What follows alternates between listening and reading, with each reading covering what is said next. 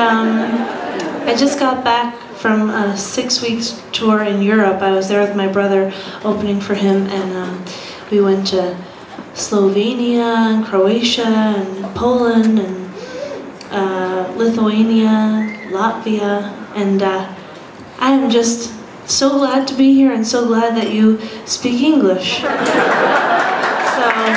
yay! We're just, we're off to a rip-roaring start just because of that. Um, so that's good. So that's a little bit about what's been going on with me. How have you been?